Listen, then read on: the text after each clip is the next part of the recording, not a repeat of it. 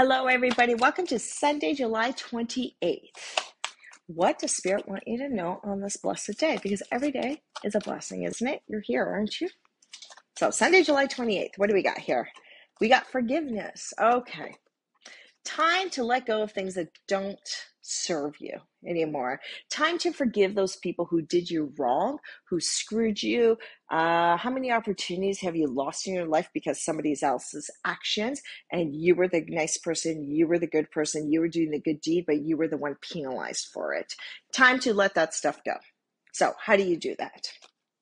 Write, write a letter. I forgive you for not being the father you should have been.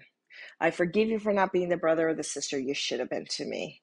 You're not condoning the actions of what somebody did to you. You're just letting it go because it's like you're letting them live rent free in your head when you hang on to this stuff.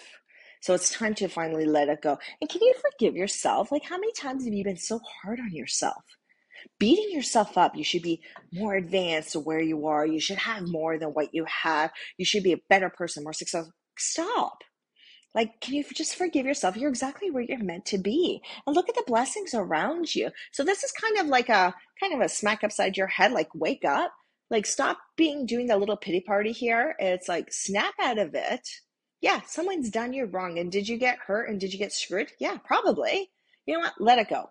Because sometimes rejection is protection, isn't it? I learned that from a very uh, dear friend of mine that I recently met, Lindsay. Uh, and I love that saying rejection is protection. So just note, Spirit's protecting you, time to forgive. And because on this new part of your journey, you don't have time for it. Take care, and I'll see you tomorrow.